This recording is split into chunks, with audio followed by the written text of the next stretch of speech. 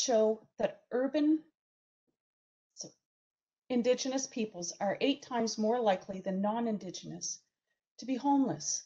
And that number is even higher in northern communities where most of the population is Indigenous. Indigenous homelessness is different. As scholar Jesse Thistle states, Indigenous peoples often feel their family is their home, making the loss of family, culture, and language major components to Indigenous homelessness. This homelessness is what leads to houselessness. The K'asho Got'ine Housing Society in the community of Fort Good Hope Northwest Territories are witnessing a housing crisis. They realize that about 16% of their population was homeless which was causing overcrowding in many of the homes or sleeping rough in and around the community. Just to give you an idea of what 16% looks like in a community of this size, it equals 88 citizens out of a population of 550. Solving homelessness is not just a matter of building houses to put people in. Although it would help, it's just not enough. To really help with Indigenous homelessness, people need healing and we are seeing a gap in programs offered in remote northern communities. The Transitional Home for Men will provide programs directed towards healing and education, putting permanent programs in place to address addictions, family violence, the collective trauma of residential school but has also led to intergenerational trauma. Securing affordable, sustainable housing while working on physical and spiritual health has proven to be a major factor in successfully helping Indigenous houseless people find and sustain a home. My research allows me to work collectively, collaboratively with K'asho Got'ine Housing Society and the community to continue with their transitional housing plan designed to incorporate the life skills programs that they, as they house the homeless, thereby relieving the stress of overcrowding that is present in the community.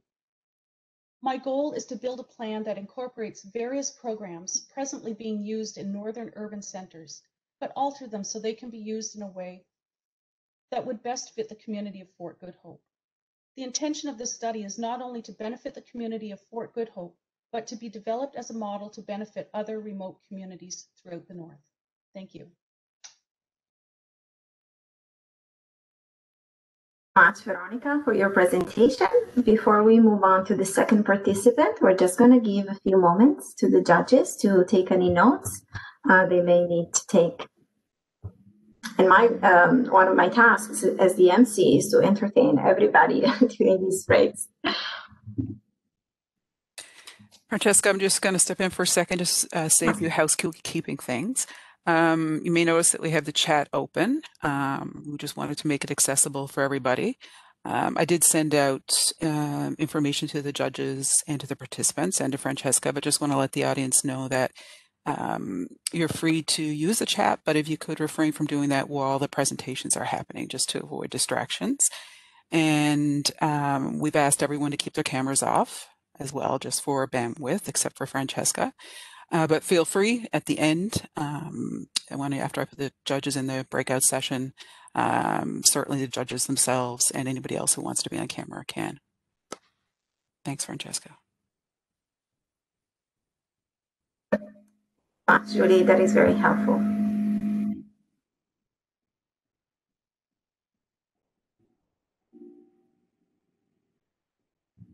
I think, Julie, we can probably move on to the second participant now.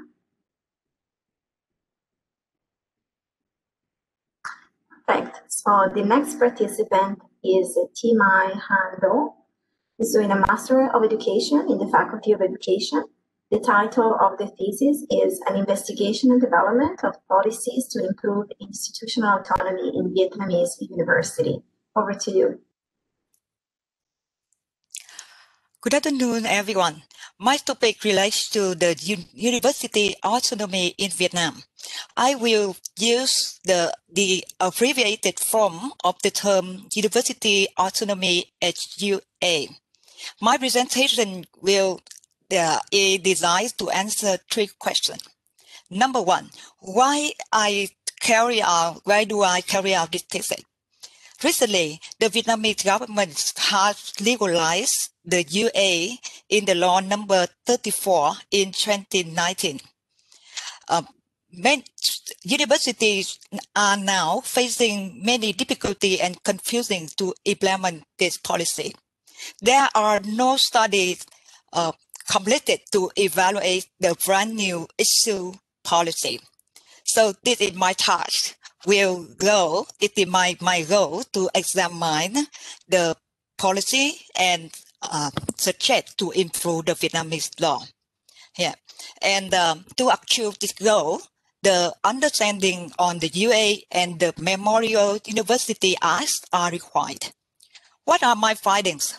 Based on the research result, uh, we, I will evaluate for the policy of UA in Vietnam.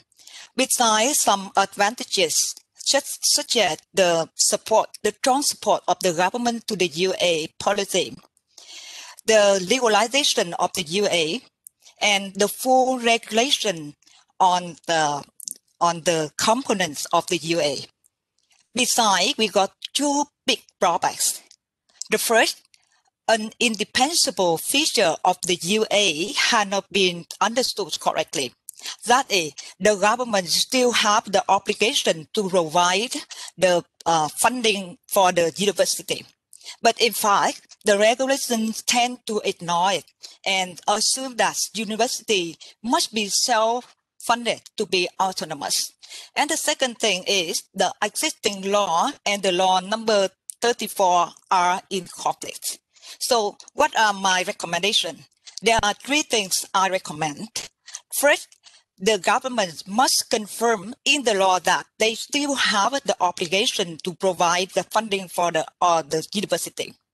The second, it is very necessary to review and amend the law relating to the UA policy to ensure the consistent application of the UA in Vietnam. And the third, I learned from the the, the, the experiences of the Memorial University Act that is, I suggest the government issue individual acts uh, for certain certain Pacific university based on their strengths, not issuing in general a collective act like uh, at present. So that is my presentation. Thank you for your listening. Thank you so much, Thi Mai, for your presentation today, and it was lovely to hear about your uh, thesis uh, today. Thank you know, to all of the participants, it is so nice uh, to still be able to do this presentation, um, these presentations remotely this year. Normally, we have the 3MT competition in person at MUN, but this time it is working quite well to do this online. So it is really wonderful to hear about all of your research projects. Just going to give a few seconds to the judges and then we're going to move on to the next participant.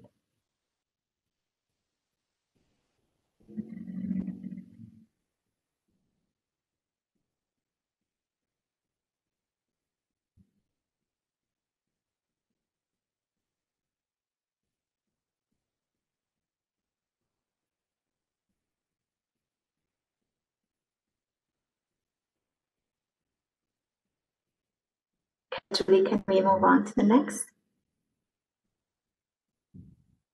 Perfect. So the next participant today is uh, Marzana Monefa, who's doing a Master of Science in Biochemistry in the Faculty of Science. The title of Marzana's thesis is Hydrolysis Products Generated by Lipoprotein lipase and Their Association with NADPH Oxidase. Over to you, Marzana. We all love sharing meals with our beloved ones, enjoying delicious fast foods that are indulged with unhealthy fats. But we may be not be concerned of a silent threat around the corner until it's too late. I still remember the worst day of my life when my father was at ICU due to a major heart attack. I was terrified that I might never get to see him again.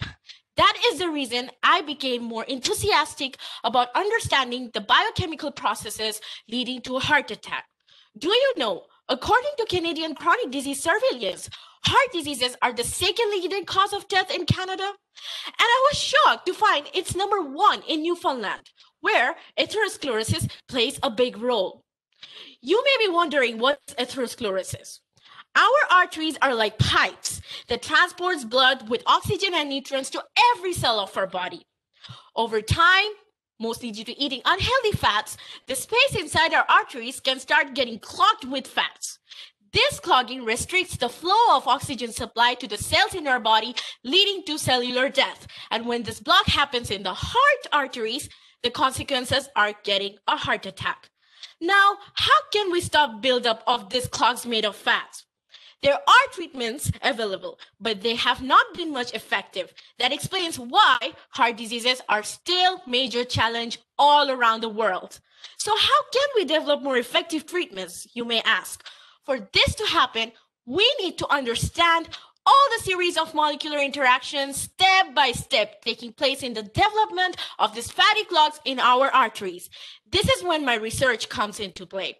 I am developing a cell model that will give us more insights the underlying mechanism of atherosclerosis using our immune cells called macrophages. Even though they're widely known as heroes in our body to save from foreign invaders like viruses and bacteria. But in case of heart diseases, they're found to promote atherosclerosis.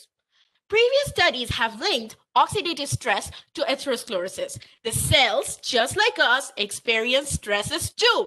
Therefore, I'm going to measure these stress chemicals known as reactive oxygen species that are produced primarily by an enzyme called NADPH oxidase.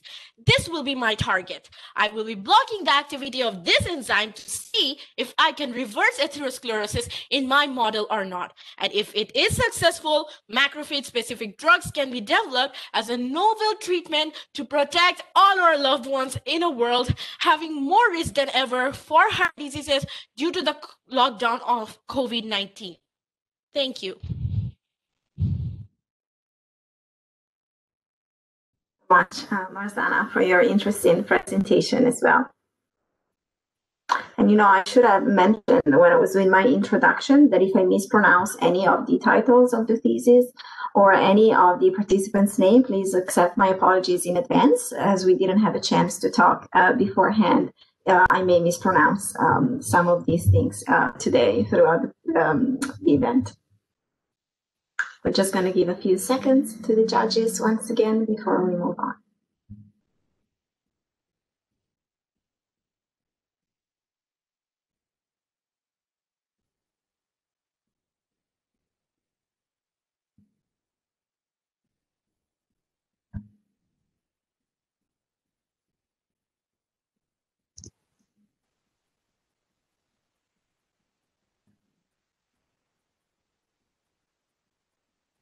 Perfect. Judy, can we move on to the next participant?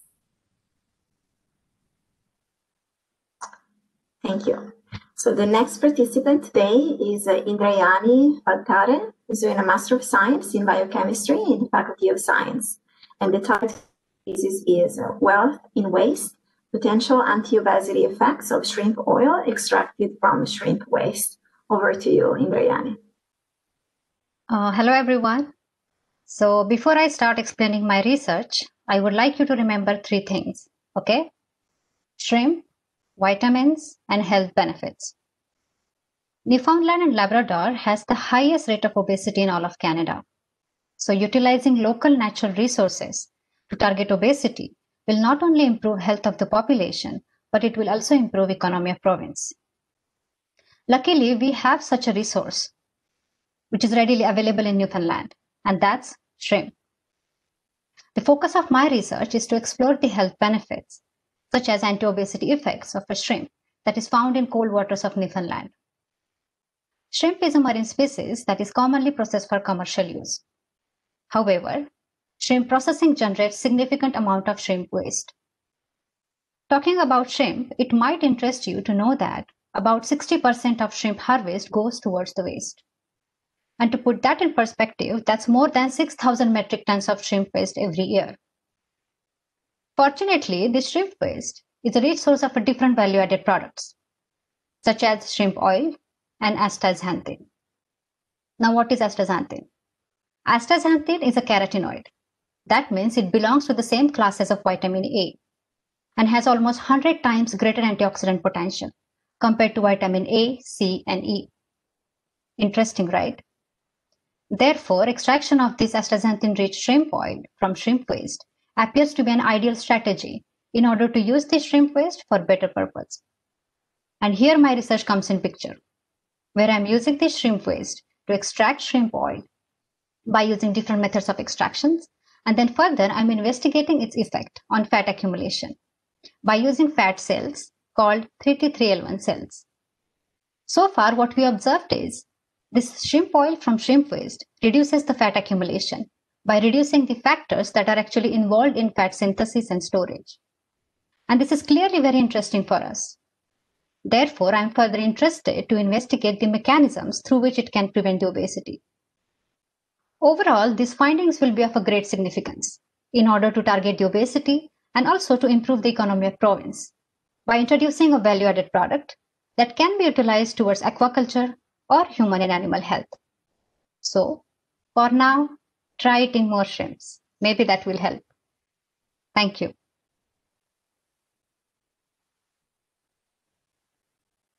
much, Indrayani, and I believe we had some technical issues um, on Julie's hand for the slide that you shared. So apologies um, for Indrayani. We'll just give a few extra seconds for all of the audience and the judges to have a, a clear look at your slide. Sure.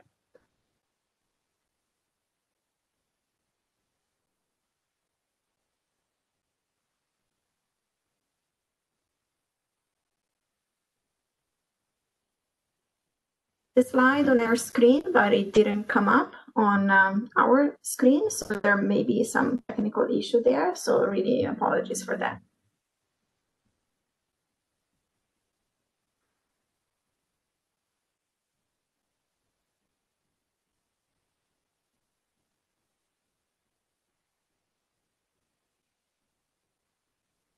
Now we're going to move on to the next participant. Julie, would you mind uh, switching to the next slide? Thank you so much. So the next participant today is uh, Kyron Power. Kyron is doing a Master of Science in Neuroscience in the Faculty of Medicine. And the title of the thesis is uh, Firing Mode Specific Functions of the Locus Coeruleus, Heterogeneity within the Basolateral Amygdala. Over to you, Kyron.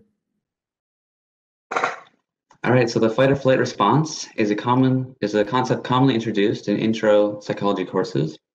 An example that's typically given is you encounter some threat in the environment, so say a bear or a lion, and this kind of kickstarts the fight or flight response, which is also known as the activation of the sympathetic nervous system. What's less commonly known is that this activation of the sympathetic nervous system is actually also occurring whenever we see something that we like. So this is why, for instance, when you look at a loved one, your pupils might dilate and you might feel the butterflies in your stomach, as we say. It turns out that the same brain area, known as the locus coeruleus, or LC for short, is involved in both our responses to stressors and rewards. Now, one of the differences in these two types of responses might be the type of activation, also known as firing, uh, in the LC. So the LC has two types of firing. Uh, activity can be continuous or bursting. So to demonstrate this in the lab, we use a fancy neuroscience technique called optogenetics, which is basically using light to activate brain areas of interest to see what results behaviorally or in the brain. We've previously shown that we can train a rat to like a certain smell if we previously pair that smell with the bursting LC activation. On the other hand, we can train a rat to fear a certain smell by previously pairing it with continuous LC activation. So my work comes in at this point and asks, what is happening in the brain in these two different scenarios? what we found is that when the LC is engaged in bursting firing, one part of the amygdala, the amygdala being commonly known in its involvement uh, in fear and other emotions, is becoming activated, whereas when the LC is engaged in continuous firing, a different part of the amygdala becomes activated. So why is this important? Well, there's a growing consensus that one of the reasons why our treatments for fear and anxiety related disorders are not very effective, and also one of the reasons why we haven't seen many recent advancements in treatment options for these types of disorders is because we lack a fundamental understanding of what things like fear and anxiety actually are in the brain. So my work is adding to our basic understanding of what makes up things like pleasure and fear in the brain, which is an important step towards being able to better reduce or recreate these states in humans. Thank you.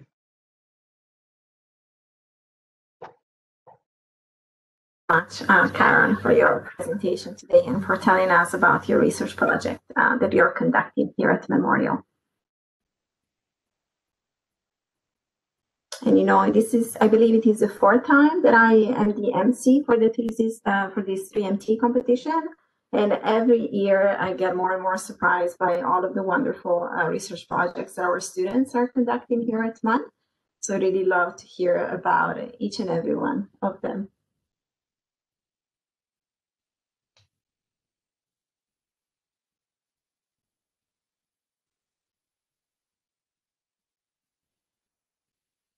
Judy, can we move on to the next participant? Thank you. So the next participant is uh, Samantha Lehman, who is doing a PhD in English in the Faculty of Humanities and Social Sciences. The title of Samantha's thesis is Traumas, They Surround Us, Examining Women, Trauma, and Love in the Mists of Avalon and the Morte d'Arthur. Over to you, Samantha.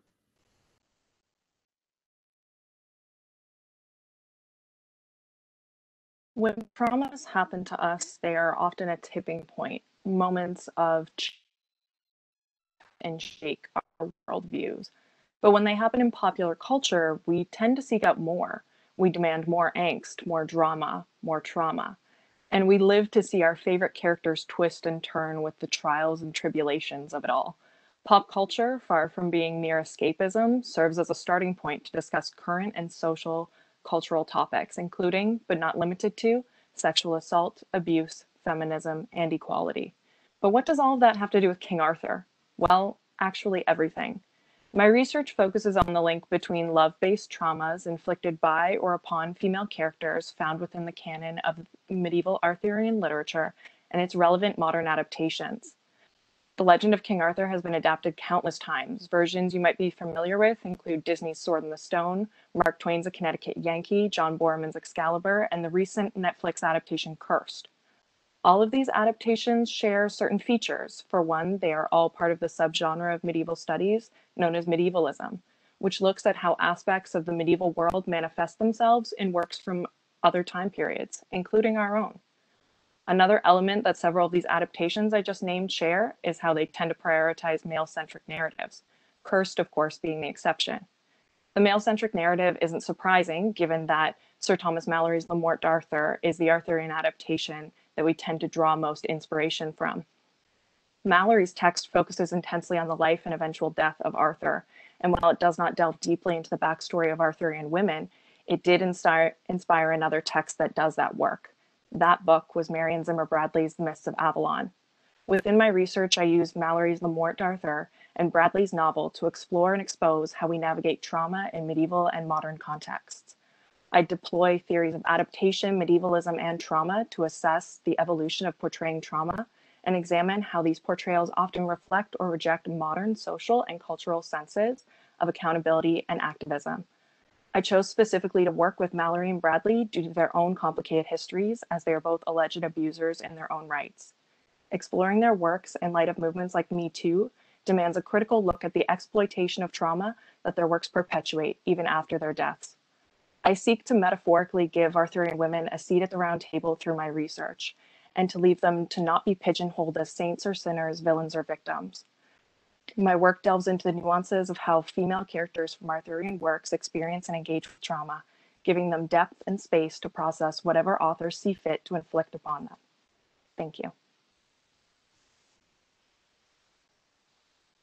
Much, Samantha, for letting us know about your uh, research project.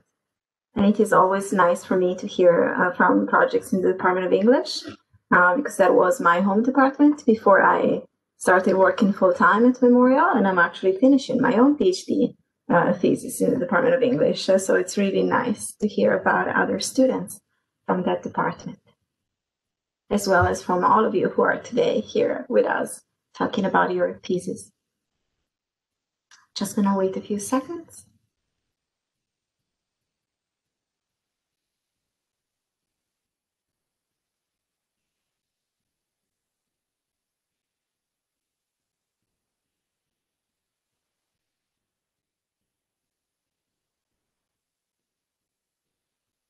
Julie, can we please move to the next?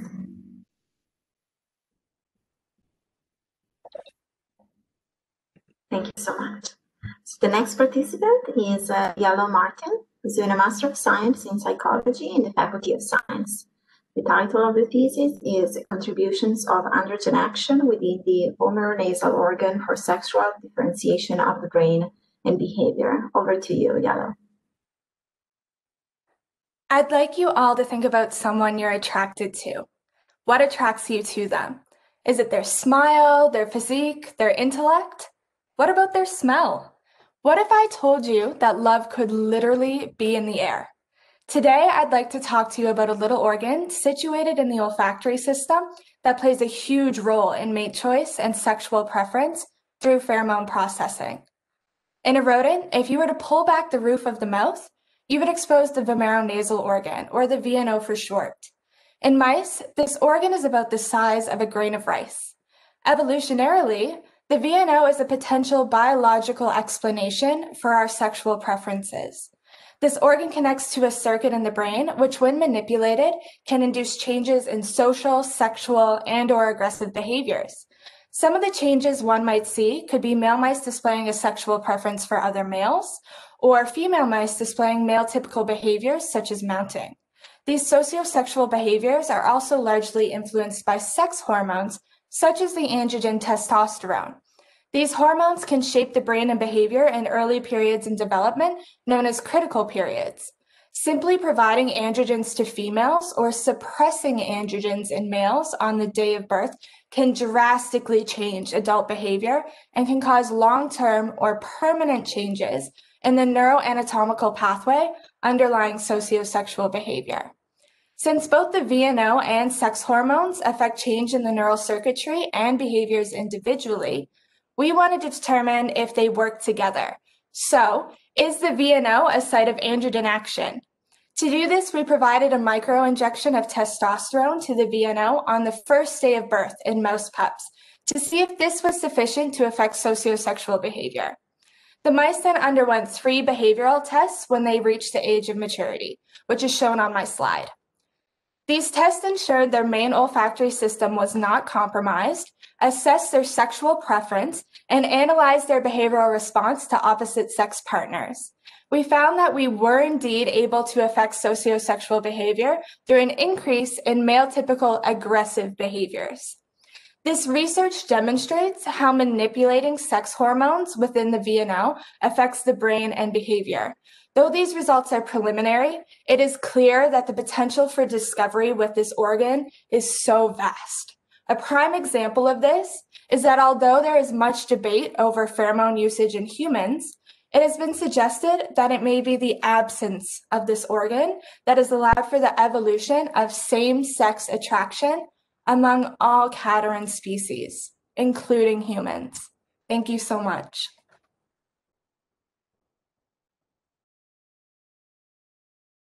Such a fascinating uh, introduction to your research project.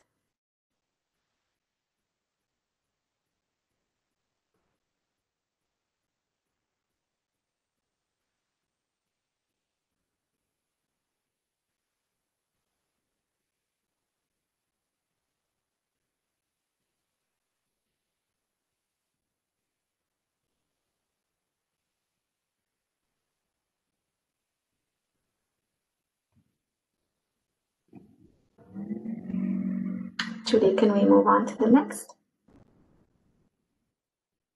Thank you. So next participant today is uh, Sarah Torraville, who's doing a Master of Science in Neuroscience in Faculty of Medicine.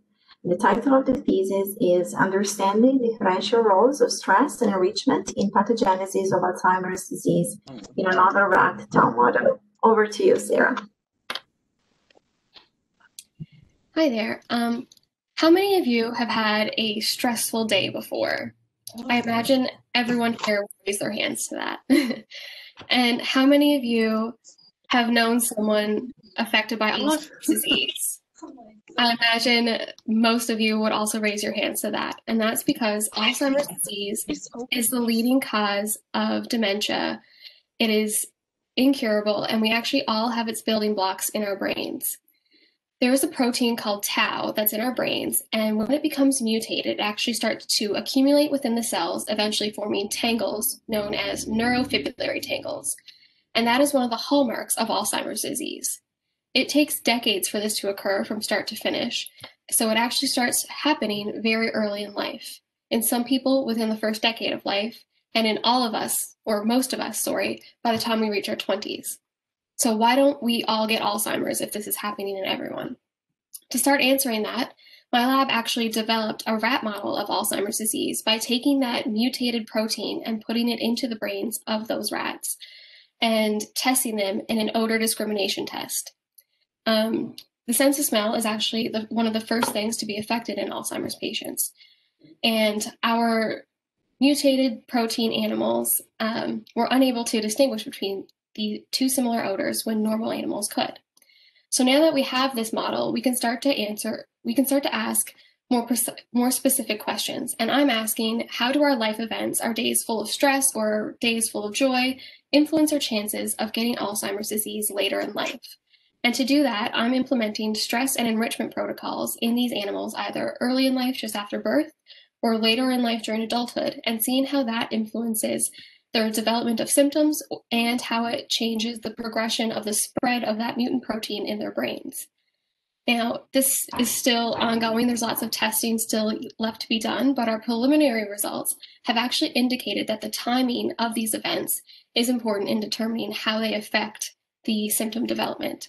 For example, um, enrichment later in life actually reduces anxiety levels, but enrichment early in life does not. It does, however, improve spatial memory. This, along with the other information that we are currently accumulating, will all, will all help us better understand the earliest, most critical stages of Alzheimer's disease. And then we can use that information um, to identify risk factors in your lifestyle, develop treatment methods, develop early screening tests, or maybe even prevent the onset of the disease altogether. So ultimately, this research could lead to the cure for Alzheimer's disease. Thank you.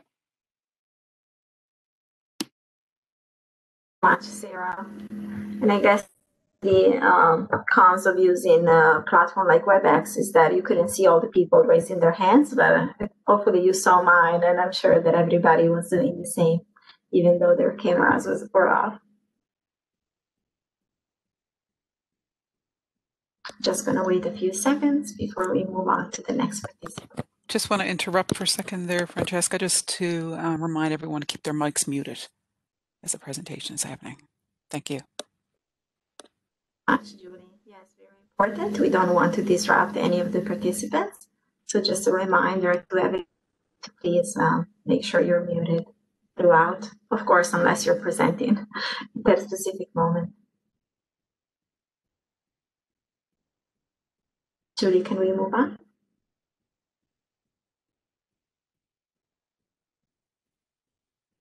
Thank you. So the next participant for today is uh, Julie Reimer, who's uh, doing a PhD in geography in the Faculty of Humanities and Social Sciences. And the title of the thesis is Amplifying the Potential of Marine Spatial Planning for Conservation and Sustainability. Over to you, Julie. Five years ago, for the first time ever, the United Nations released a major sustainability goal dedicated to our oceans. Envisions a healthy ocean through seven targets that aim to reduce pollution, protect oceans, sustain fisheries, and more. It is an ambitious goal. And though we know that because oceans connect our economies, affect our climate, and feed the world, this goal is essential to a sustainable planet. But these lofty targets make us wonder how do we get there?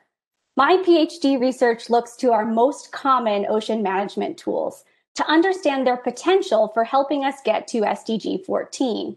But first, let's talk about these tools. What do marine protected areas and fisheries closures have in common? They both assess activities in specific places. My research looks to seven of these area-based management tools from our ocean management toolbox.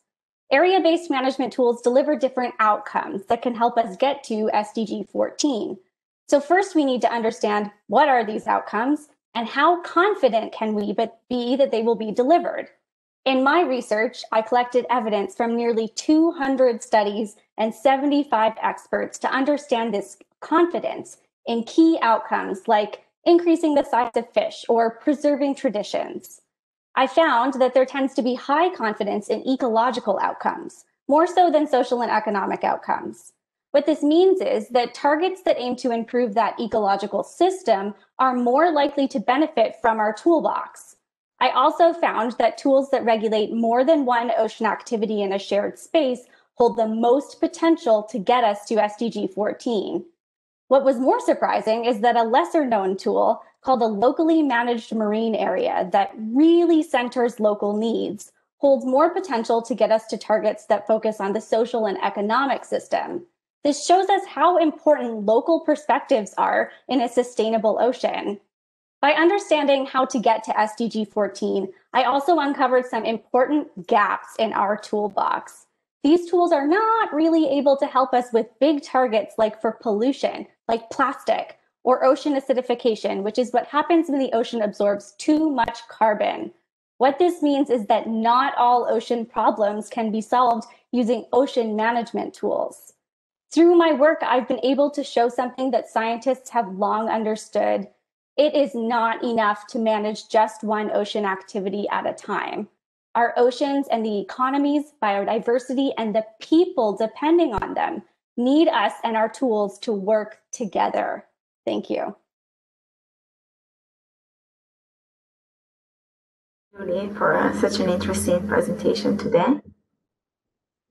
It's really great to see all of the participants' enthusiasm for their research projects. Makes me want to talk to all of you uh, later on to know more about your research. Just going to wait a few seconds.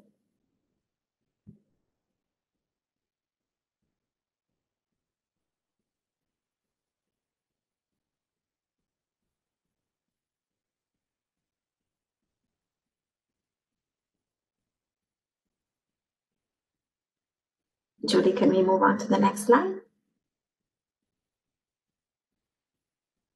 Thank you.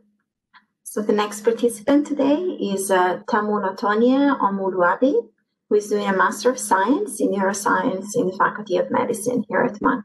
The title of the thesis is The Effects of Locus Ceruleus Neural Activity Pattern in a Pretangle Tau rat Model. Over to you, Tamu What if sometime in line, this child that once brought joy to this mother now becomes a stranger to her because she can no longer recognize a child? Now, if you're wondering if I'm talking about Alzheimer's disease, then you're right. Alzheimer's disease is a slowly progressive disease that affects the nerve cells of the brain and disrupts its normal function and leads to things that we commonly see as memory loss. According to the World Health Organization, about 44 million people are currently living with this disease. Now, this is more than the total number of people living in Canada. So while the actual number, the actual cause of this disease is unknown, in 2011, a scientist named Braak worked with over 2,000 dead human brains and discovered that they have accumulation of abnormal protein called tau. Tau in its normal state is a soluble protein, which means it dissolves and it helps structures in the cell to carry out their activities. What are seen in Alzheimer's disease patients, this protein forms tangles or thread-like structures that spread towards all brain areas. Braak also discovered that this disease starts in a part of the brain called the locus ceruleus or LC, which produces chemical messengers that helps us in learning and memory.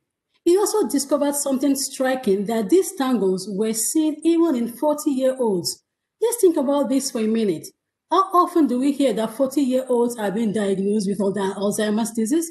The age we hear is from 65 and above, where we see memory loss. And unfortunately, at that stage, it is actually it is already irreversible. So why is there a gap over two to three decades?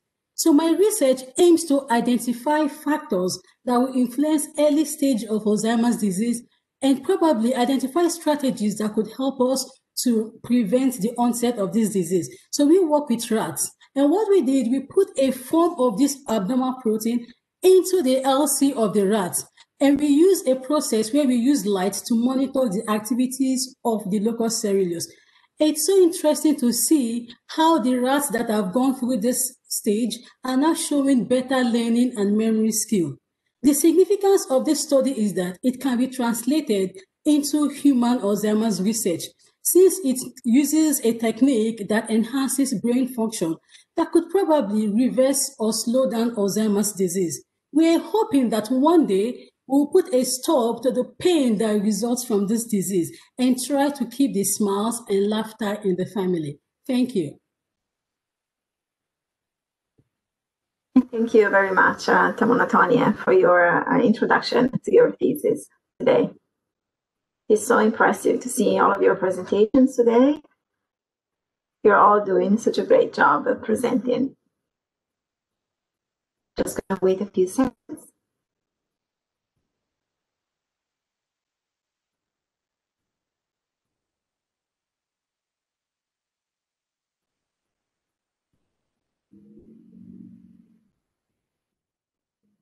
Judy, could we please move on to the next slide? Thank you so much. So the next participant today is uh, Mahesha Asiriwardhana, uh, who's doing a, B- a PhD in biochemistry in the Faculty of Science. Uh, and the title of the thesis is uh, Amino Acid Nutrition in Development. Over to you, Mahesha. Hi everyone. In my PhD project, I'm working on a novel promising supplement called guanidinoacetate. So, what is this guanidinoacetate supplement?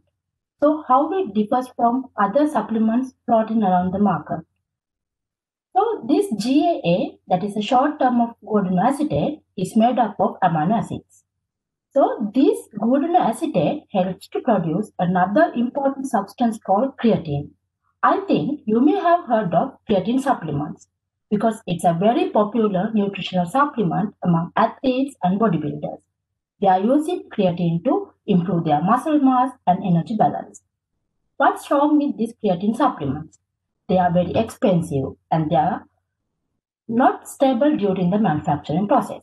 So to overcome those problems, we can use GA as an alternative source because creatine is made up of GA molecules. Therefore, in recent research studies, researchers have shown there are a lot of benefits towards the animal industry and humans. So they have been showing GA can enhance growth rate, meat quality, and performance of commercial animals, especially targeting on pigs and poultry. Apart from animal industry, GA can enhance exercise performance, physical performance in humans as well. Therefore, we were interested to looking at what happened to these GA supplements inside our body in relation to other amino acids. To demonstrate this, we are using piglets as a model because they have kind of similar digestive system as the humans. Uh, to get the best benefits out of GA supplements, it needs to be converted into creatine. So for this conversion, it needs another essential amino acid called methionine. As I have shown in this screen, you can see methionine plays important role in this conversion. If our diet contains low level of methionine, because we cannot produce methionine in our body, it reduces conversion and thereby decrease all the creatine related functions. Therefore, we have given pigs with different levels of methionine with the GA supplements. We were able to demonstrate how this conversion affects the creatine production and thereby its related functions. Interestingly, we were able to find out methionine is important to GA absorption through the gut as well. So, GA is, important to GA conversion as well as GA absorption through the gut.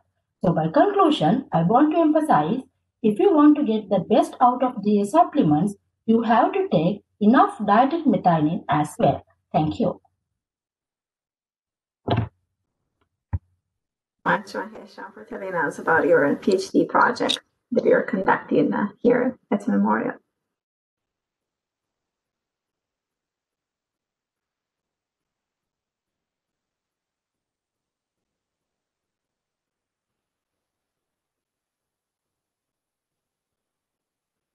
We're just going to wait a few moments.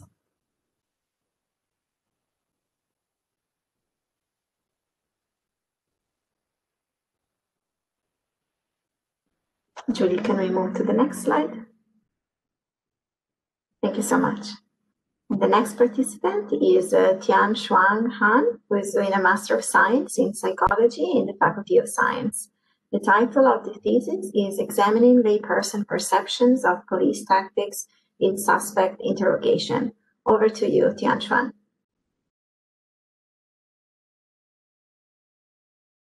Since coming to Canada last year, I've learned a lot about what police can do and what they can't do while interviewing suspects. Given concerns over false confessions, the police is not allowed to promise a lenient sentence to the suspect. However, implied leniency is generally accepted by the court. Minimization is a series of admissible interrogation tactics, where the interrogator minimizes the seriousness of the crime to get the suspect's trust. Alarmingly, research has shown that minimization can pragmatically imply leniency. In other words, the police wouldn't promise a lenient sentence directly. They would let the suspect read between the lines. For example, at the scenario shown in the slide, the police may downplay the consequences of confessing, saying things like, When I look at your case, I think you're fine. You don't really have to be worried. It sounds supportive, but the suspect could therefore interpret it as the equivalent of a leniency being offered, and that can well trap innocent people to falsely confess. More concerning thing is, jurors usually cannot tell that when they look at the confession evidence. Although field study has shown that expert testimony could be helpful on confession to the jurors, however, the courts do not allow the expert to assist the jurors with those issues because they doubt the testimony wouldn't go beyond the common sense of lay people. So with all this in mind, I will conduct a study to examine layperson perceptions of minimization tactics. Instead of a suspect, my research focused on people who are not involved in the interrogation and would help to see how those prospective jurors evaluate confession, uh, evaluate minimization. The result has found that some minimization tactics are perceived as coercive. However, others are believed to be less problematic, which suggests that people do not fully understand the connection between minimization and false confession. More importantly, confession had a really strong impact on jurors' decisions. People would convict the suspect even when they thought the confession was coerced. Taken together, it suggests that jurors may not be able to evaluate the confession under common sense, and expert testimony should be allowed to help them. So hopefully, my research could help to decrease the rate of false confession being used in legal decisions and prevent wrongful convictions, which is really important to the society because innocent lives depends on it. Thank you. Very much, uh, Tianshuang, for telling us about your very interesting uh, project. Right now, we're actually about halfway through the participants, the list of participants for today, halfway through the presentations. So we still have a few more to listen to. Just gonna wait a second.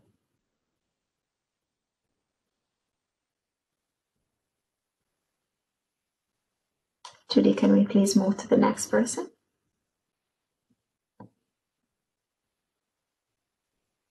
Thank you very much. So the next participant today is uh, Anthony Dura Silva, who's doing a PhD in biochemistry in the Faculty of Science. And the title of the thesis is uh, Isomorphism, Cold Adaptation, and Phosphorylation of Sarcomeric Tropomyosin. Over to you. Sensitivity to temperature determines the success of an organism in a particular habitat, and this is caused by the susceptibility of biochemical and physiological processes. As a result, temperature is a key factor that determines the biogeographic range limits of organisms. Although it is like that, we know almost all corners of the world occupied by organisms. This is due to the differences that gives them the adaptations to thrive different temperatures. These adaptations sometimes are very obvious and can be seen in the external appearance.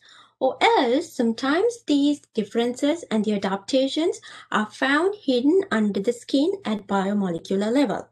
Talking about biomolecules, proteins play an important role in structure and function of organisms. The proteins have an optimum temperature range where they can function properly. Beyond that, they reach a breaking point due to the loss of the native structure. But proteins try to maintain the native structure with structural differences to face different temperature uh, functions. These structural differences oftentimes are caused by single amino acid substitutions. So today I'm going to talk to you about my research that focuses on such an amino acid difference of a protein that enables the protein to function at vastly different temperatures. When we look at all the organisms, in the muscles of organisms, there's a protein called tropomyosin. Tropomyosin is very important to maintain the contraction of the muscles.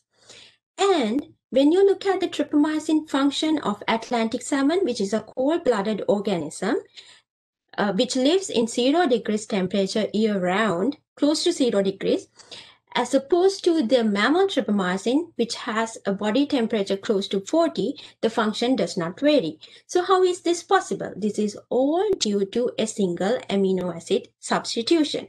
In the mammals, in tropomyosin, there's a positively, positively charged amino acid.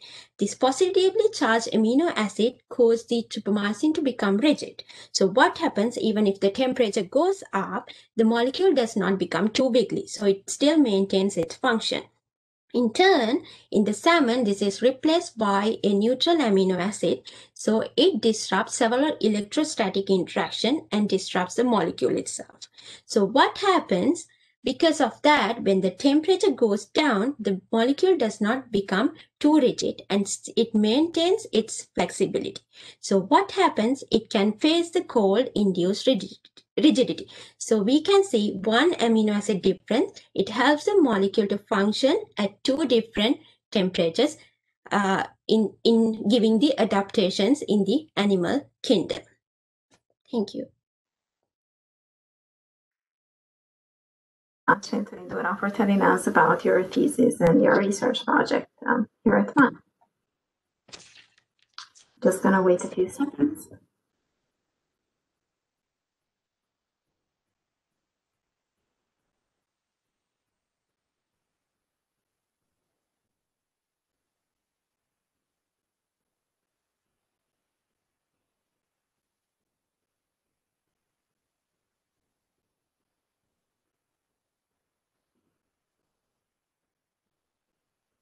Julie, can we please move to the next slide?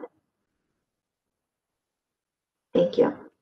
So the next participant is Mohammed Alauddin, who is doing a PhD in process engineering in the Faculty of Engineering and Applied Science. And the title of the thesis is Pandemic Risk Management Using Engineering Safety Approaches.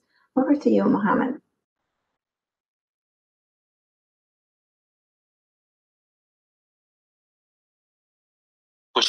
Millions of people into extreme poverty and existential threat to many enterprises.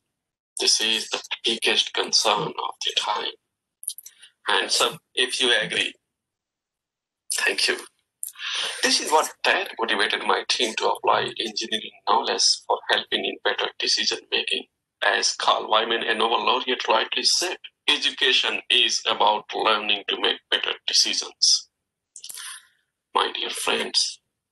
Individual, corporates, governments all have to play together to fight this disease. Let's put in a similar context. Winter has arrived and we have the fear of exposure to excessive cold and harsh weather. So we use winter clothes and other accessories at individual level. Our employers and government helps us by maintaining favorable conditions at public places and work sites. And ultimately, this condition would be gone by the next summer. Similarly, we have the fear of exposure to the coronavirus. A vaccine is the ultimate cure of the disease, but that's not available at the beginning of the outbreak. It takes several months, maybe a year. Thus, we have to do with other options such as wearing a mask, social distancing, school and business closures, and lockdown. But we can't impose lockdown to longer duration due to its devastating impact on economy.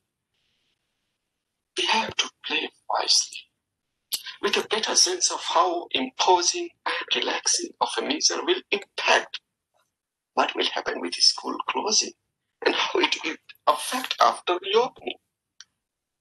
This is what we have tried to come up with our model that shows the range of number of critical cases over time.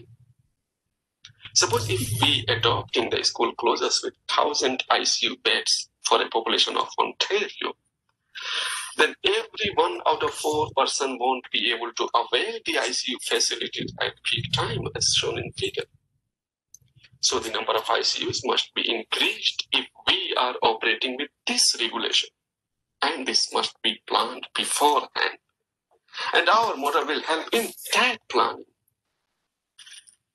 Although a pandemic has uncertainty in spreading, uncertainty in infection and recovery period, nonetheless we can conquer it by responding well in advance rather than reacting at crucial times. Thanks for listening.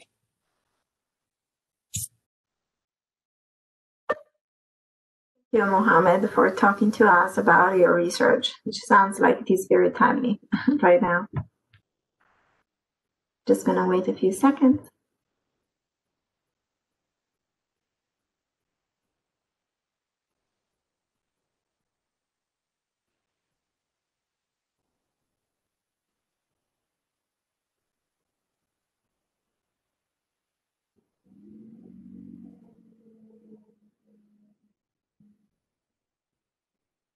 Can we move on to the next slide, please?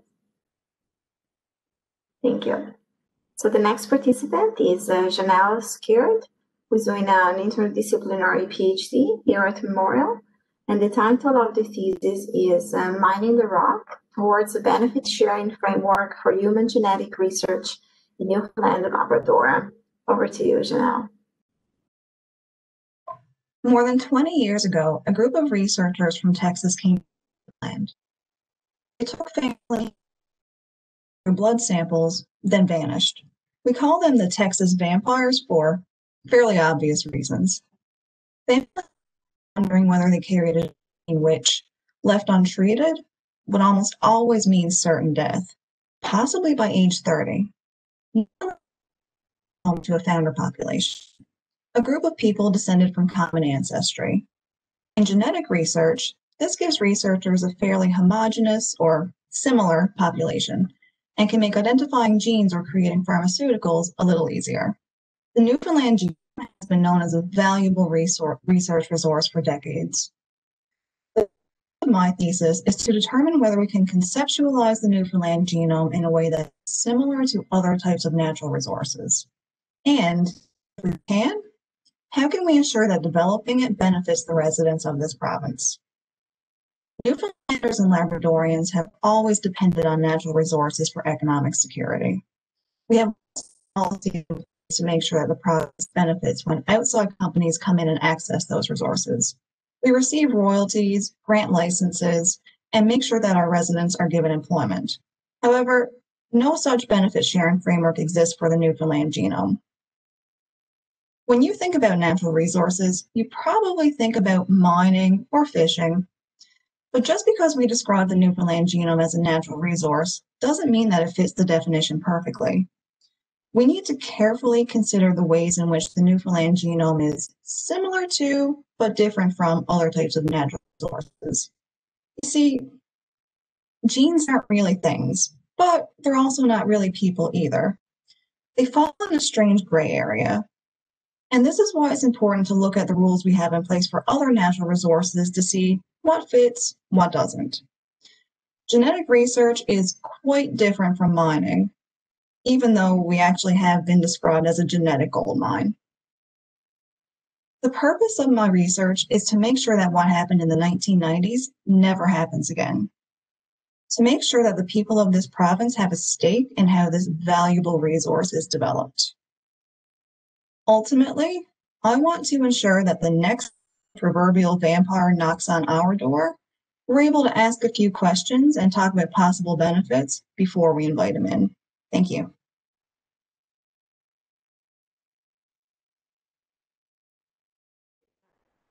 Now for talking to us about your research project. Just gonna wait a few more seconds.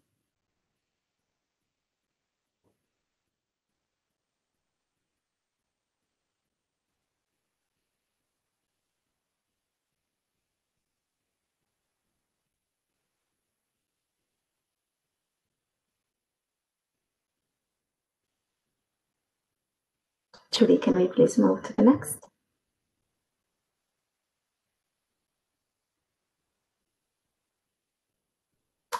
Thank you, Julie. The next participant is uh, Kelly MacDonald, who is doing a Master of Science in Biology in the Faculty of Science. And the title of the thesis is uh, Movers and Shakers, the Spread of Invasive Brown Trout, Salmo trutta, and their effects on Atlantic salmon, Salmo salar, on the island of Newfoundland. Over to you, Kelly.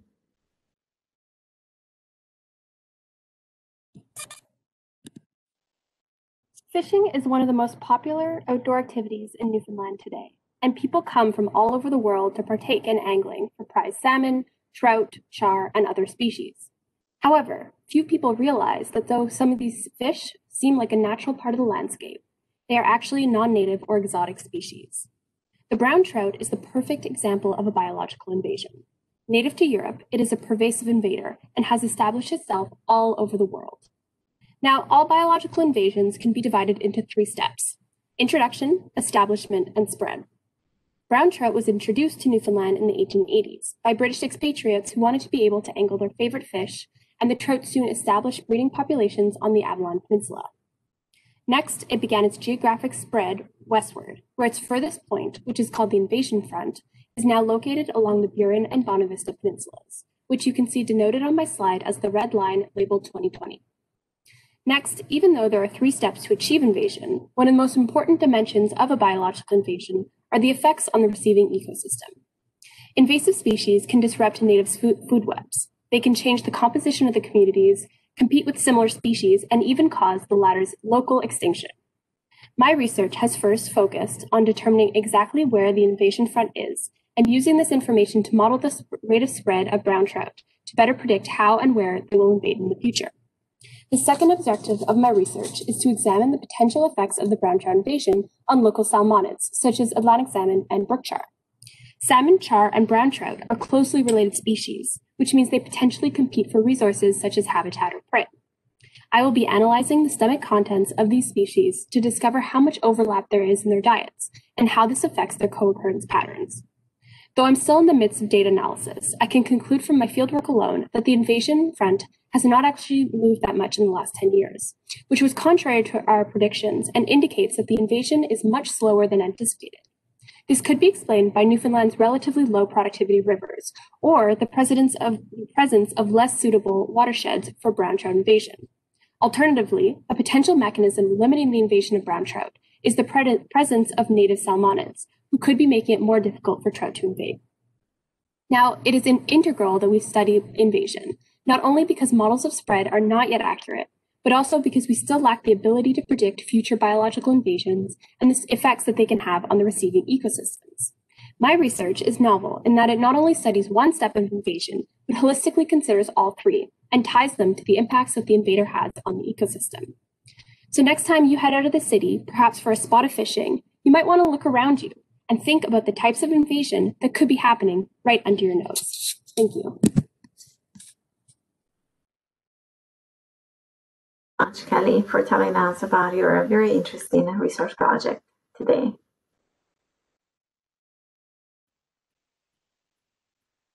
Just gonna wait a few seconds.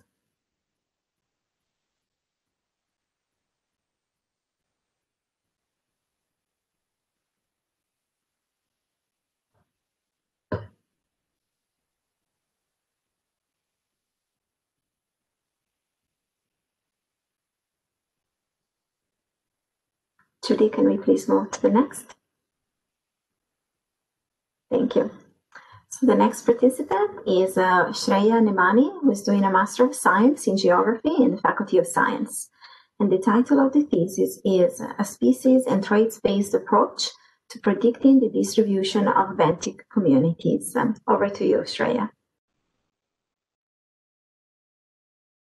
I don't know about you guys, but with months of lockdown and potentially another resurgence, my itch for travel has grown. Desire to travel and see new places that we've never seen before is probably shared among all of us here. So, what may be new to our eyes has likely been observed by countless others who visited the same sites before us. But for many parts of the oceans, this is not the case. Vast regions of the seabed are still unexplored, making it truly one of the last remaining frontiers on our planet. And advances in ocean technologies are helping us to see what happens under the sea. My research seeks to leverage the power of sound and imagery to capture the landscapes and wildlife occurring in coastal here in Placentia Bay. This is a region facing increasing human impacts from vessel traffic and industrial and commercial expansion such as aquaculture. Yet in light of these changes, there is a lack of data describing the existing state and conditions of the seabed in the region.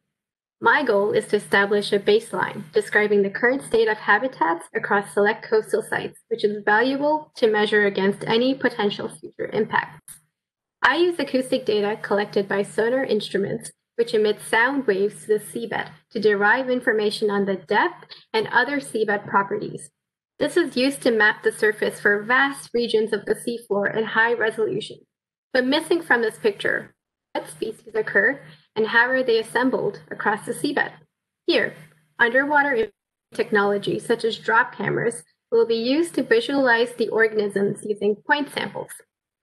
Recognizing the time, effort, and cost required to endlessly sample species across the entire seabed I will use machine learning to predict their distribution from the video data. This is based on our understanding of how these organisms are influenced by seafloor characteristics, which can be modeled to predict their presence in one region as opposed to another. The final product, seen here, is a continuous map visualizing the types of species communities occurring across space. The next time you punch in a list of sites to visit on your trip, think of the marine equivalent, Imagine navigating the seabed from a community of common sea stars and urchins to a sandy bed full of mussels and clams. Aside from how cool that would be, their importance extends beyond some underwater exploration, interesting videos, and a map. The true value lies in planning and management, because how can we protect a region if we don't know what exists there? Well, these maps can tell us, which makes them essential for making informed decisions on how we use marine areas. Thank you. much, Shreya, for telling us about your research project.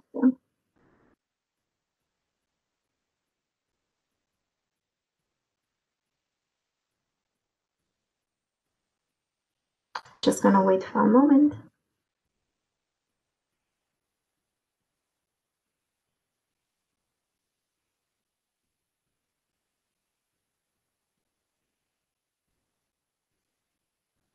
Judy, could we please move on to the next slide? Thank you. The next participant is uh, Makayla Swain, who is doing a Master of Science in Biology in the Faculty of Science. The title of the thesis is uh, Indirect Impacts of Non-Native Ungulate Browsers on Soil Horizons and Microbial Communities in the Boreal Forest of Newfoundland. Over to you, Makayla.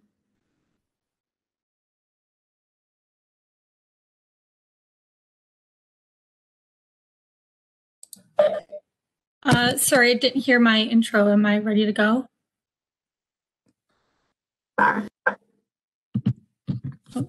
I'll take that as a yes. Sorry.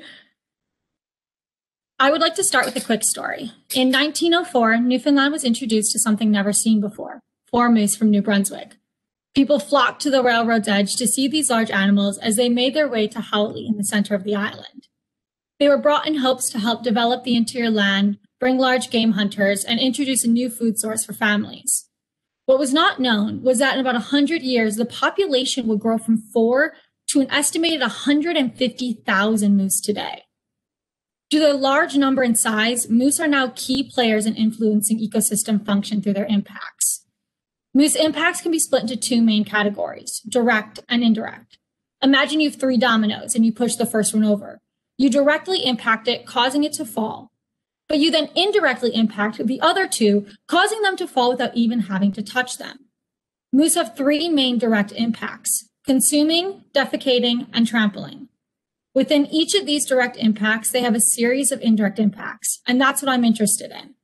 These indirect impacts can reach far into ecosystem function and change things that seem completely separate. About 20 years ago, large squared fenced areas were placed in locations around the island with healthy moose populations. These large fences keep moose out and allow us to compare and give us the unique ability to identify these impacts. Without these structures, it'd be nearly impossible to identify moose impacts. Often scientific focus of indirect impacts is on visual changes, such as a shift in plant community or plant height. These are easy to study, yet you can visually track and notice the changes with your own eyes. However, it's arguable that the most important impacts are the ones you can't even see. Soil is the foundation for a healthy ecosystem, and it's often overlooked. I'm interested in identifying and bringing light to the unknowns underground. My study uses a variety of complex field and lab methods, including soil cores, pitfall insect traps, soil nitrogen, carbon content, DNA extraction, chloroform fumigation, and more to try to identify these changes to the soil. These methods focus on three main aspects, nutrient turnover, soil composition, and macro and microorganism communities. By looking at these three aspects, I can start to understand the flow of indirect impacts that might be happening here in Newfoundland. Each of these are important for healthy ecosystems. Um, moose have been changing the boreal forest for over 100 years now, and very little has been done to identify their impacts. By understanding where moose are impacting the soil, we can better control and identify future ecosystem changes that they may be having and implement important conservation efforts. It is important to remember that sometimes the most crucial changes are the ones you can't even see. Moose are here to stay, and they've made Newfoundland their home. And it's now our job to make sure we understand their ability to change it. Thank you.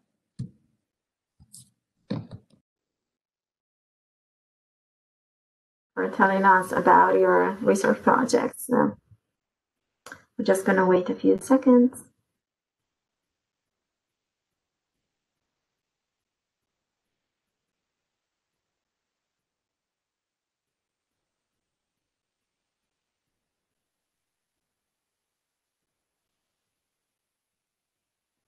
Actually, could we please move to the next? Thank you. So the next participant is uh, Tristian Critch, who is doing a Master of Science in Neuroscience in the Faculty of Medicine. And the title of the thesis is The Functional Roles of L-type calcium channels in Odor Learning and Spatial Discrimination. Over to you, Tristian. I'm sure at some point or another in your life you've experienced the misplacement of your keys or the inability to call what you've had for dinner the night before. These little slip ups are natural and are quite common. However, as we get older, our memories aren't quite what they used to be, and our ability to teach old dogs new tricks becomes increasingly difficult. However, why we experience this cognitive decline as we age is not yet fully understood, and before we dive into this research, my research, we need a bit more background about calcium. When it comes to calcium, I'm sure you all know that it helps lead to the development of strong bones and healthy teeth. However, what you may not actually be aware of is that it actually plays a very intimate role in the process of learning and new memory formation. In order for the calcium ions to do their part in regards to the learning process, they first must be able to enter the cell. They do this by passing through these channels or selective gates that only allow calcium ions through, much like a cat door. From this in the past, it was hypothesized that an increased amount of calcium through a dysfunction of these channels leads to the cognitive decline that we see with age and is called the calcium hypothesis of brain aging, which leads us to my research hypothesis of that in young animals, the L-type calcium channels actually promotes and facilitates the learning process. However, in the aging animals, they lead to an impairment of the same processes. To explore this question, I employed an odor-based learning model in which the animals need to learn that one scent contains a reward, while the other odor does not. Through the use of a nimodipine, which is an L-type calcium channel blocker, so it prevents their activation and they're unable to open to allow calcium through, I have shown that in young animals, when blocking the L-type calcium channels, it actually prevents their ability to learn this rule, while their control counterparts are able to do so with ease as shown by the graph. However, the striking difference is that in aging animals, when we block the L-type calcium channels, we actually promote the ability to learn this rule, while their control counterparts are unable to do this, which is a complete reversal of what we saw in the young animals, which suggests that L-type calcium channels actually have a differential role based on our age, suggesting to me that the L-type calcium channels may be in part responsible for the cognitive decline that we see with age, and thus act as a potential therapeutic target to alleviate the cognitive decline that we see with age. And thank you for your time. Thank you very much, uh, Tristian, for telling us about your exciting uh, research project. Once again, we're just going to wait a few seconds.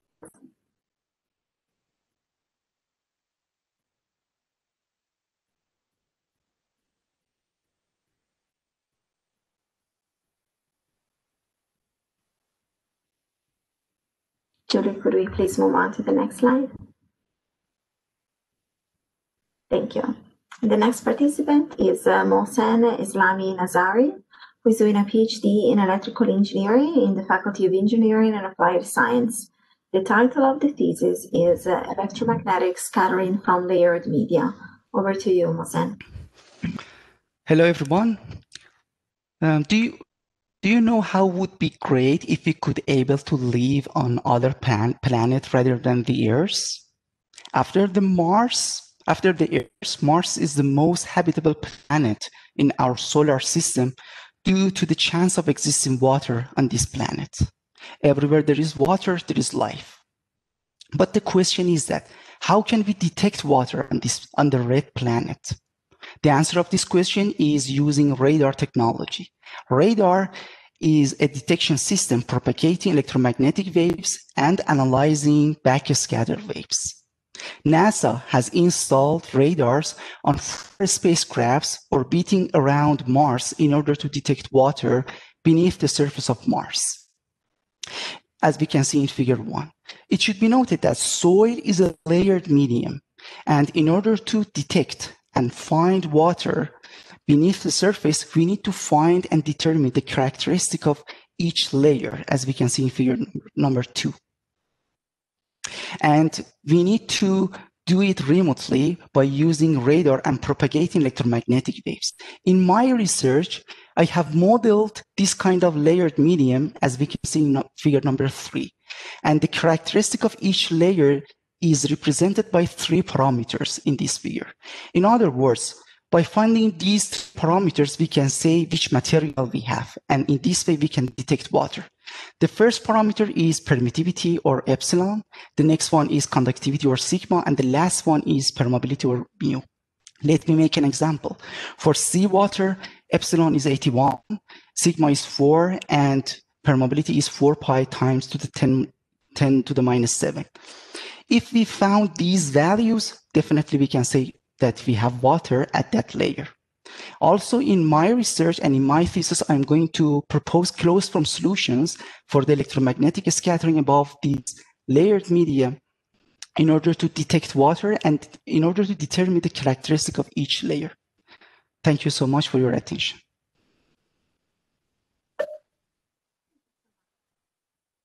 About your PhD research uh, here at Memorial. We're just going to wait a few moments.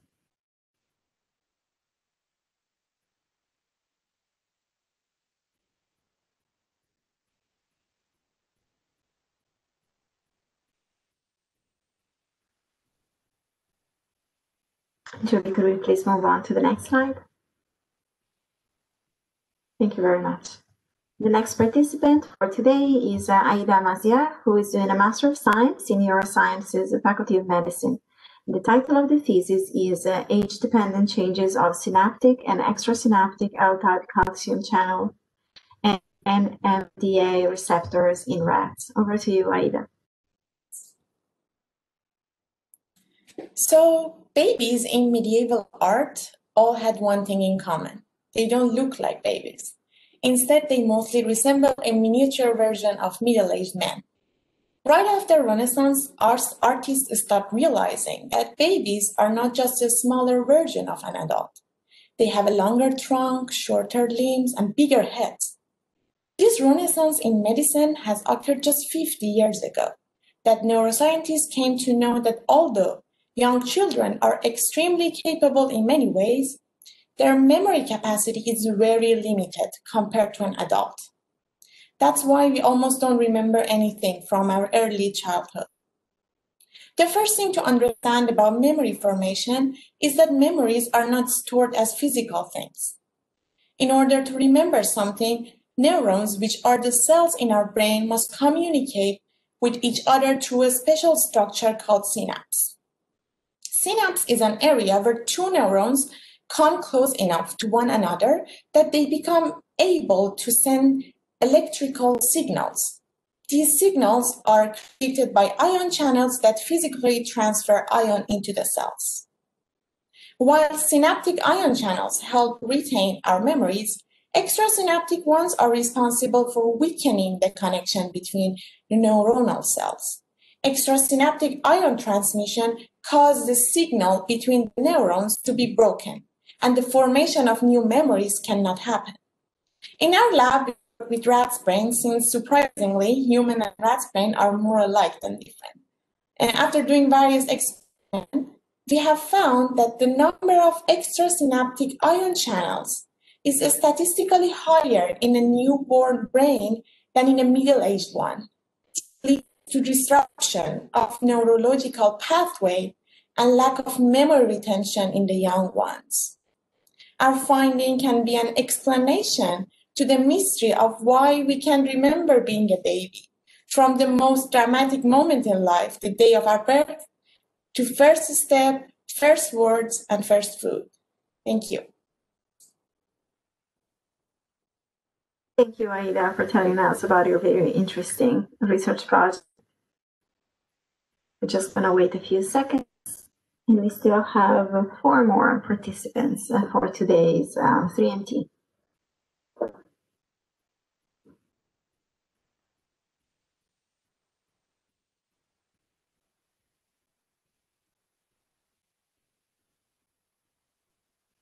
Julie, can we move on to the next slide?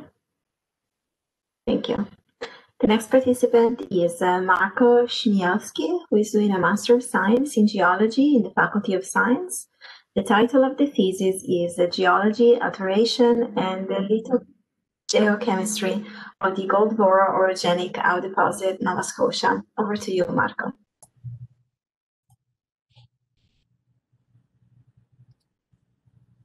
What if, in order to find that remote you lost deep in the couch, you didn't actually need to find it at all? Now, that may seem like an incredibly weird concept, but it's one that gold mining and mineral exploration companies ask themselves on a regular basis. Gold is one of the most sought after resources of all time. It's used in coins, jewelry, and even your cell phones and computers. But with an ever increasing global population and demand, the Earth's natural abundance of gold is slowly diminishing. Now, I'm not saying we're going to run out anytime soon. We're not but we've basically found all of the mind-bogglingly large gold deposits that there are in the world. And what's left are smaller, lower grade deposits uh, that just have less gold in them. And most of them are located deep underground. Imagine trying to find something hundreds of meters to kilometers beneath your feet without actually being able to see it. One of the biggest costs for gold exploration is finding the gold itself. Because these deposits are underground, we need to drill deep into the earth to find them. Drilling produces what we call core, a long cylinder of rock about the diameter of a soup can that's brought up to the surface for geologists like myself to study and to identify where gold veins are. These drill cores can range from hundreds of meters to over a kilometer deep. The problem with this is that it's a wildly inefficient system. A single drill hole can easily cost over $100,000. And often it takes tens, if not hundreds, of these drill holes to find a deposit and to determine how large it is. Think of that as throwing very expensive darts and trying to hit a bullseye. Now I'm downplaying this. We have gotten really good at throwing the darts over time, but there's still a large margin of error, and it's very common to miss the gold vein. So that brings me back to my first question. What if you didn't actually have to find gold to, you know, find gold? Well, my research is accomplishing just that. Here's how it works. Far into the past, gold was deposited by hydrothermal fluids and that fluid interacted with the surrounding rock through a series of chemical reactions and created what we geologists call alteration. Simply a chemical change in a rock from its original composition into something different. These changes are measurable over much larger distances uh, than the gold veins themselves, ranging from centimeters away from a gold vein to up to 100 meter away, 100 meters away from a gold vein. And they also exist on a chemical continuum depending on how close you actually are to the gold vein.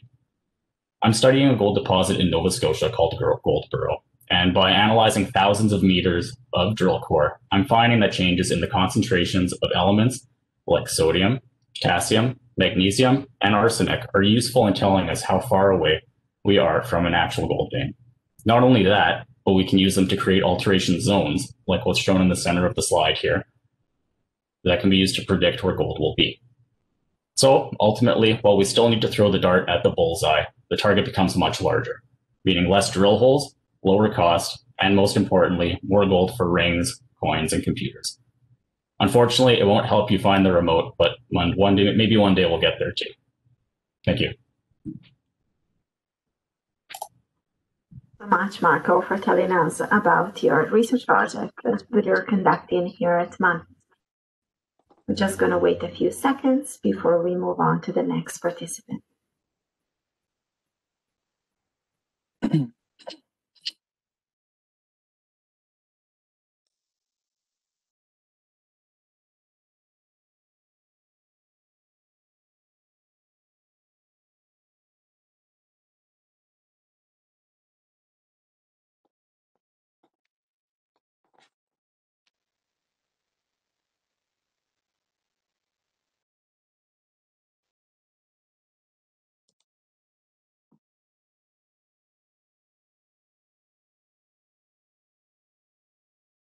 To the next slide whenever you're ready. Thank you. The next participant is uh, Sabir Manzoor, who is doing a Master of Electrical Engineering in the Faculty of Engineering and Applied Science. And the title of the presentation is Design, Simulation, and Analysis of a Passive House and its Renewable Energy System in Newfoundland. Over to you, Sabir.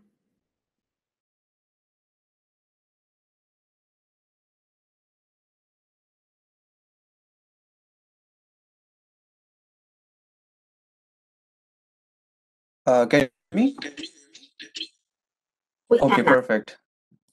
So uh, today I'm going to talk about a sustainable house model and how we can mitigate the adverse effects of climate change by adapting to a sustainable house design.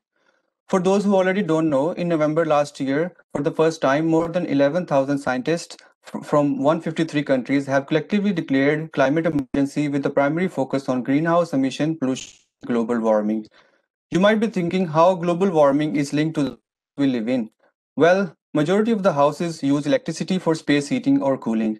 On an average, around 80% of the house energy needs are met with electricity and majority around the world is produced by fossil fuel, hence causing, uh, causing greenhouse gas emission. If we can adapt to this sustainable house model on an individual level, we can inquire, we can we only require small amount of electricity for the household use. This remaining electricity can be produced by either roof, rooftop solar panel or other renewable energy production. By the way, re renewable energy production are those who are known to have minimum effect on the environment. So the idea of reducing electricity consumption with an with an energy efficient sustainable house with which uses passive house design four major components as you can see in the picture. It has highly insulated walls with airtight envelope to maintain temperature inside the house. There are specially designed windows which are which are also known as triple glazed windows to block the heat transfer while allowing sunlight to enter the house for comfortable living. The main component of the uh, house is heating and exchange uh, heat ventilation system. This will allow the fresh air to enter the house while maintaining the temperature of the house. This is the first step towards a sustainable house model. We can reduce electricity consumption or space heating or cooling by up to 90% with the passive house model. Second step is to add a rooftop solar panel as you can see in the picture that is capable of producing remaining electricity consumption of the house. So my research was to study energy efficient house and its renewable energy system for cold climate in Newfoundland. I recently developed passive house in flat rock, which is in fact first of its kind uh, in Newfoundland was studied. I have performed modeling, sim computer simulation, and design rooftop for the uh, panel for uh, solar panel for the house. If we talk about construction of the house, obviously there are extra component involved, as you can see in the picture. It discovered that only 12% extra cost of construction of passive house was was when compared to the normal house. The payback period of this cost was only 17 year, which means the house is saving enough electricity which is going to pay itself and generate revenue in terms of cost electricity saving. So we can contribute to minimize uh, climate change by either retrofitting our existing house to a passive house model or design our new according to this energy efficient models. Thank you. So much, uh, Sabira, for talking to us about your research project. You can hear some feedback because your mic is still on. So thank you very much. So just a reminder to everybody, please don't turn your mic on until you actually start your presentation, because if not, that is going to affect um, the audio for everybody. But thank you so much, Sabir, for your presentation today. Just gonna wait a few seconds before we move on to the next person.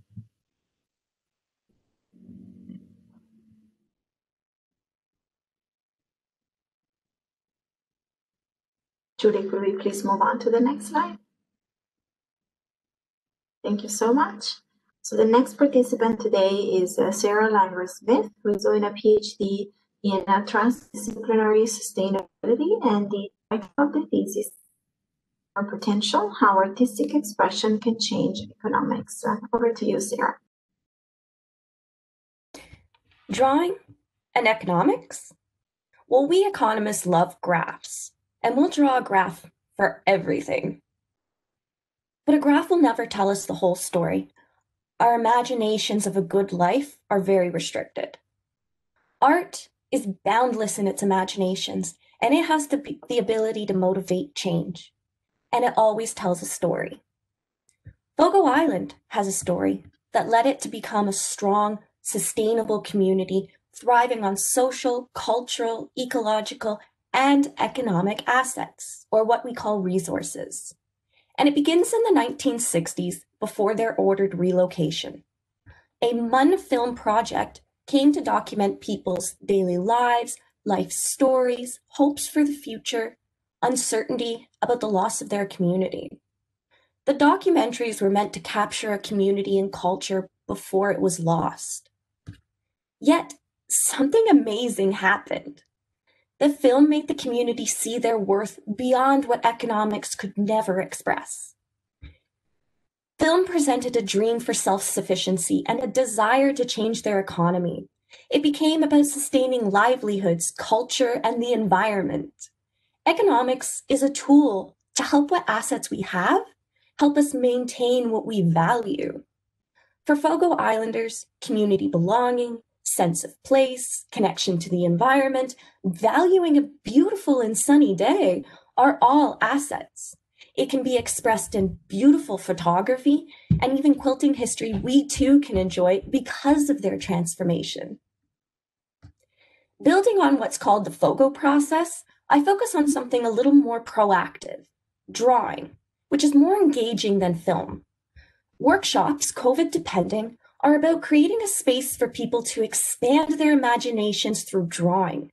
We can have time to create a beautiful collection of assets, uh, of drawings that capture what their assets are and what they value beyond economics. Graphs can't do this. Their, their imaginations and drawings, economics as a tool, it all opens up an opportunity to la- collaborate on what their economy could be what it can evolve into. Newfoundland has no shortage of at risk coastal communities. Climate change, fishing moratoriums, the list goes on. But that's why it's imperative that we rethink economics. It's not working at the global level, let alone the provincial. Economics hasn't changed in 300 years. So let's go back to the drawing board together. Thank you. much, Sara, for telling us about your research project. Just gonna wait a few seconds before we introduce the last participant for today, participant number 25.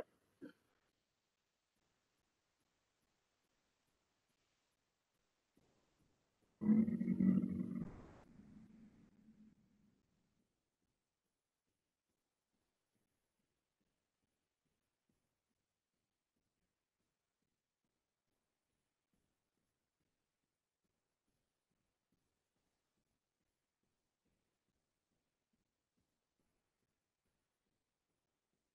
Sara, please feel free to turn off your camera now. Judy, could we please move on to the next slide? Thank you.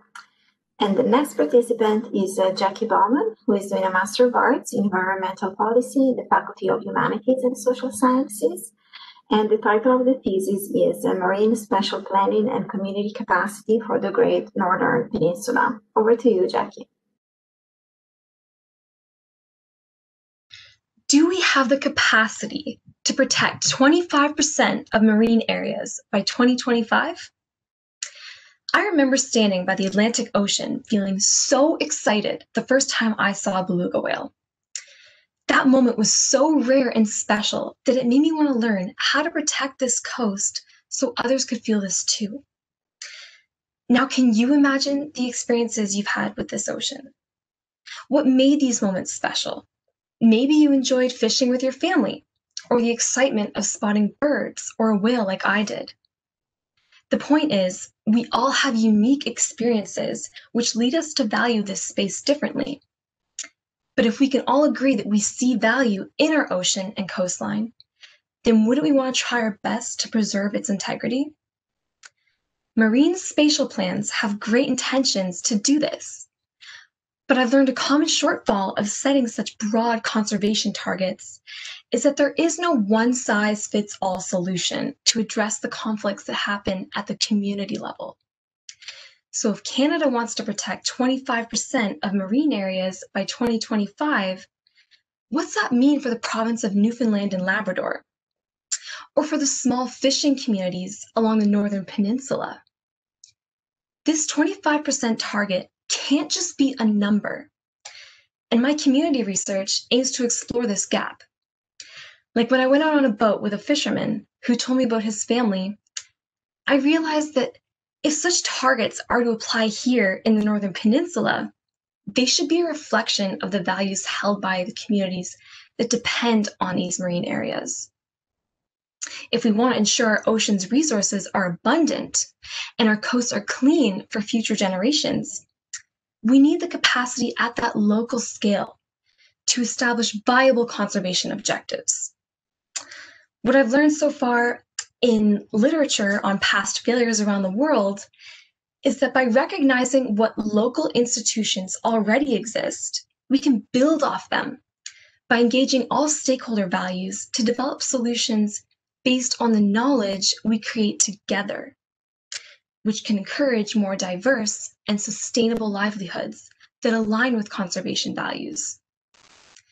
If we take a step back from this target, we can see how interdependent conservation is with sustainable human activities in our coastal communities. We need to accept that humans are part of this ecosystem. Our values matter. So let's think deeper about what it is we're really trying to protect. Thank you. That's about your research project. Uh, and that was the last uh, presentation for today. So we have had uh, 25 uh, participants today. Uh, Julie, would you mind uh, moving on to the next slide? So now we're just going to take uh, a short break so that the judges um, can deliberate, and we'll be back uh, shortly. Okay, everybody, so just uh, bear with me for a few minutes while I get the judges in a breakout room. Thank you.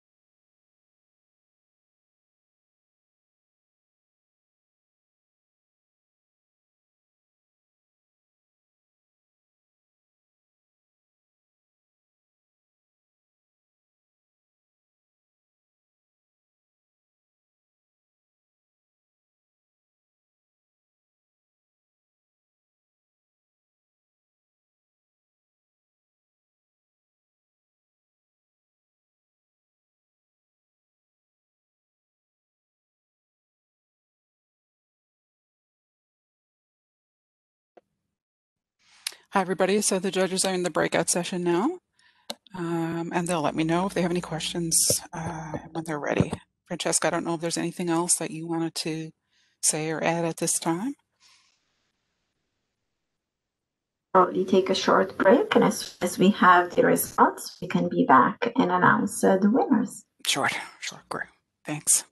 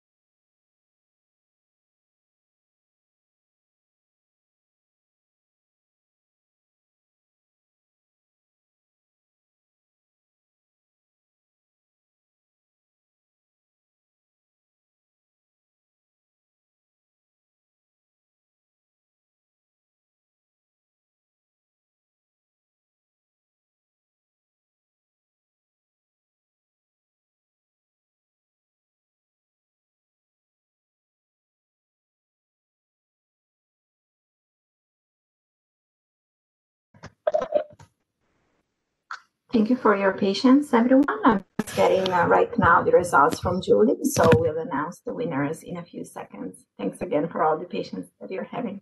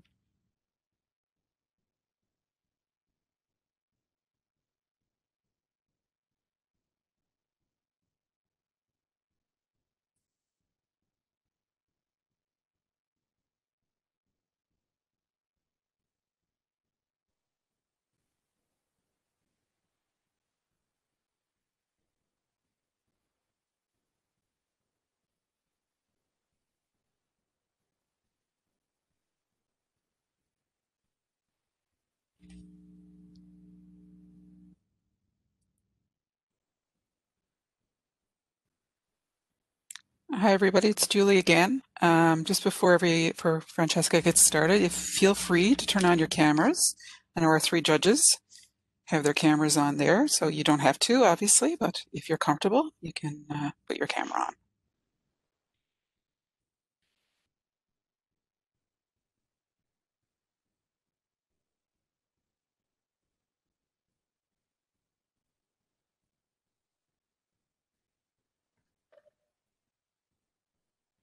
Thank you so much, uh, Julie, and thank you for the judges for sending in the results.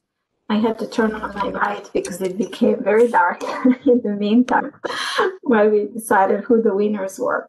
So, well, first of all, before I announce the winners, I just wanted to mention congratulations to everybody just because you participated and you really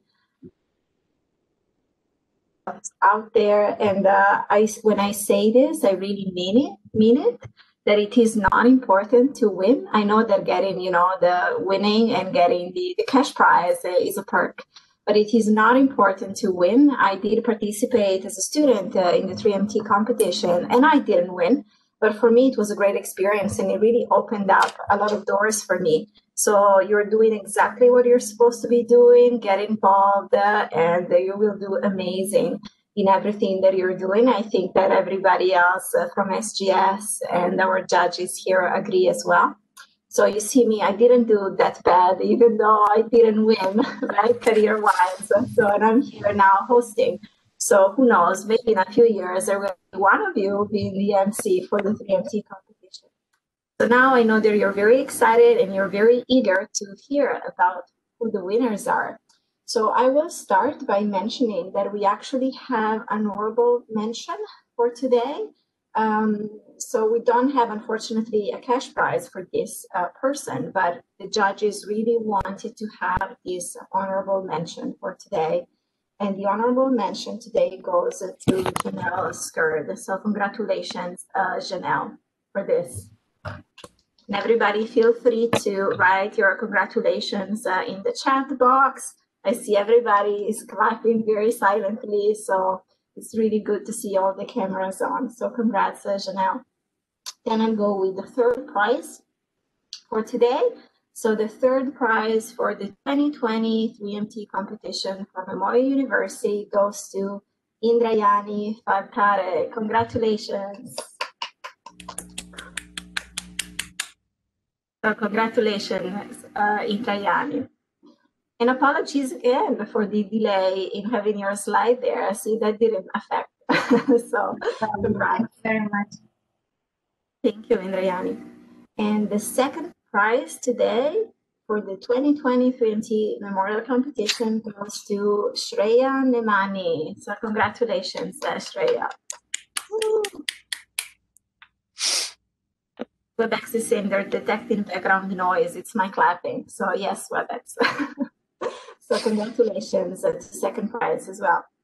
And the winner, first prize of the 3MT competition today is Marzana Monefa. So congratulations, uh, Marzana. Yay! So congratulations, everybody. Uh, this was a wonderful 3MT competition. We all really enjoyed listening to your presentations. And it was really a pleasure to hear about all of your research projects today. I'm sure that SGS will be in touch with you when it comes to, you know, delivering the prizes to you.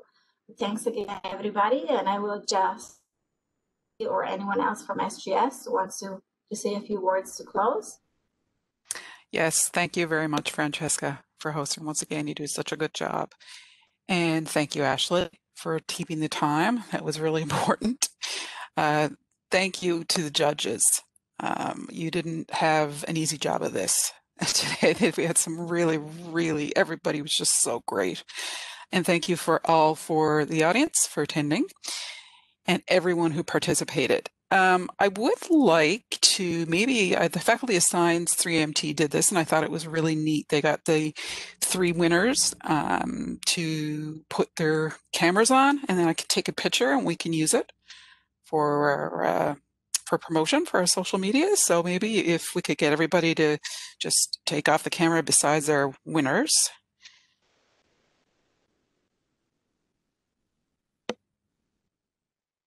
includes me if I can stop my video. There we go. And I'm going to see if I can share.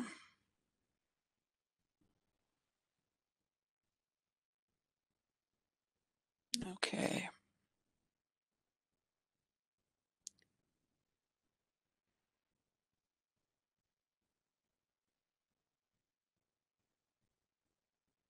Has everybody got their cameras on? Okay. I'm going to take off the slide.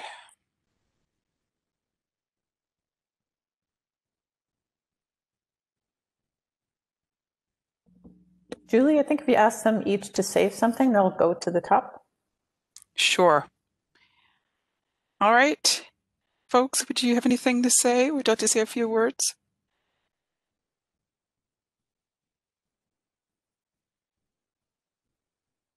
Thank you.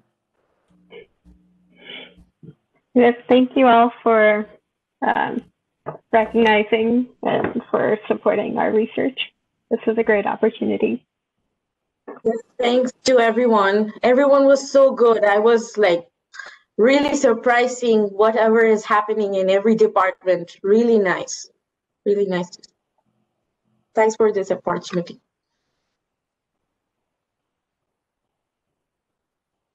Thanks to you all.